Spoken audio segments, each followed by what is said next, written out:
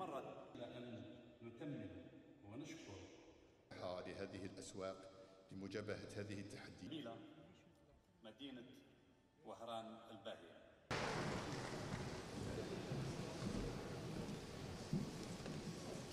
عرفت الإصلاحات الاقتصادية دفعا قويا من خلال القرارات التي باشرتها السلطات العمومية وعلى رأسها السيد رئيس الجمهورية ودخلت منذ النصف الثاني من السنة الماضية في ديناميكية قوية من النمو ويتوقع أن تبلغ نسبة النمو لهذه السنة 3.4% مع تحسن المؤشرات الاقتصادية الرئيسية.